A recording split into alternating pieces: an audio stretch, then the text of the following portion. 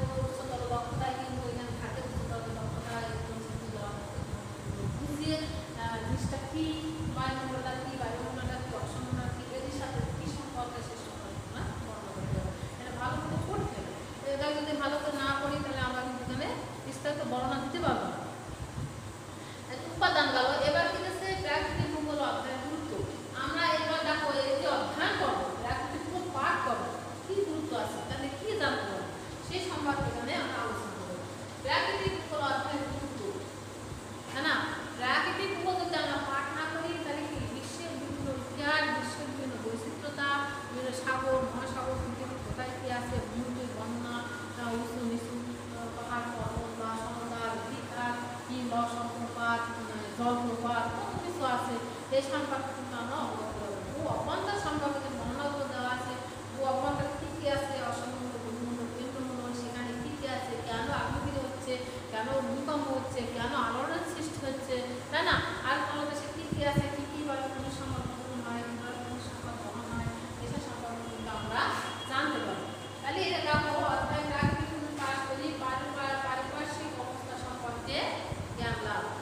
দেখো, পারিপার্শ্বিক অবস্থা কিন্তু আমাদের চারিপাশে অথবা জায়গা পাঠের সম্বন্ধে জ্ঞান লাভ করা যায় আমার চারিপাশে কি আছে? সে সম্পর্কে জ্ঞান লাভ করতে পারি?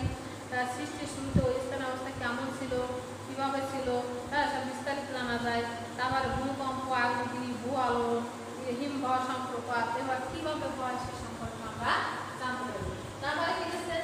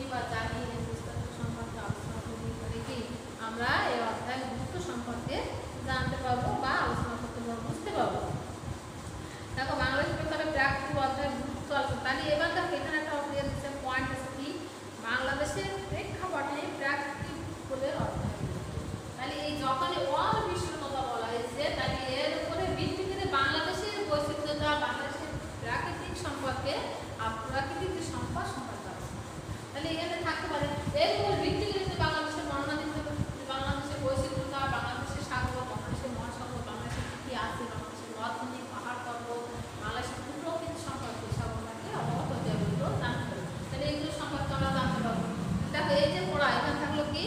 যে আমরা এই অধ্যায় শেষে অধ্যায়নের শেষে অধ্যায় শেষে আমরা কিন্তু জানতে পারব, বাংলাদেশের প্রেক্ষাপটে প্রাকৃতিক দুপুর অধ্যায় গুরুত্ব আলোচনা করো এটা কিন্তু তোমরা অবশ্যই করবে আর দেখো সার সংক্ষেপ এখানে সার সংক্ষেপ আছে কি?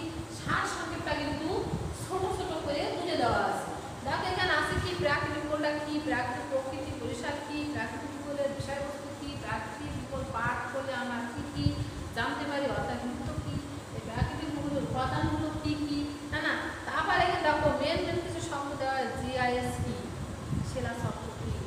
সম্ভাবনাবাদ কী নিহিতবাদ কী তাই না মরুভূমি কী জীবমণ্ডল কী বাচ্চঞ্চলন কী অসম্মণ্ডল কী বায়ুমণ্ডলটা কী জীবমণ্ডলটা কী মেন মেন পয়েন্ট হচ্ছে দেওয়া আছে এগুলো তোমরা অবশ্যই বাইরে করবে বা বই দিকে এগুলো বারবার